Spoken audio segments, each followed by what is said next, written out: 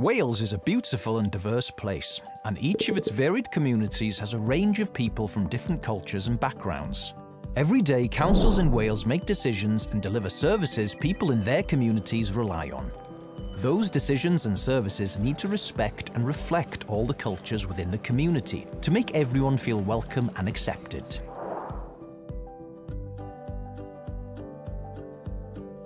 Councils can only serve the community through mutual respect, dignity and openness. That's where the Local Authority Ethical Standards Framework comes in, to set standards for councillor behaviour, so everyone knows how they should act as they work on the community's behalf. The Council's Code of Conduct is a part of the ethical framework. It's based on the minimum legal requirement in the Model Code of Conduct, and every authority can develop it to suit their local protocols. Before councillors can take up their duties, they must agree in writing to follow the code.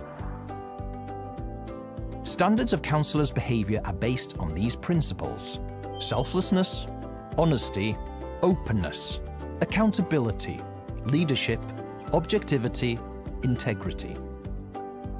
Everyone in public office or who delivers a service like county councils, town and community councils, fire and rescue authorities, national park authorities and many other public bodies must stick to these principles.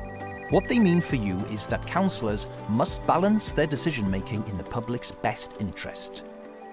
We need to trust our councils, so unless there's a reason to keep sensitive information secret, you can see why they've made a decision and with what evidence.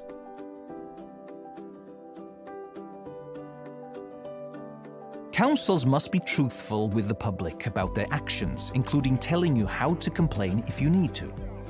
If someone has breached the code, then they've acted against the principles that everyone in public life needs to follow, and action needs to be taken to protect the trust for people within the council and the public's faith in councillors. If you think a council has breached the code, then you can complain to the Public Services Ombudsman for Wales. If they agree the code may have been breached and it's in the public interest to investigate, then they'll make the right people aware and look into it. Your local council is there to serve the community, and councillors are there to listen and act to create positive change. If you feel a councillor is falling short of the standards expected of them, then use the process to speak out. Our communities and councils need to work together to make a better Wales for everyone.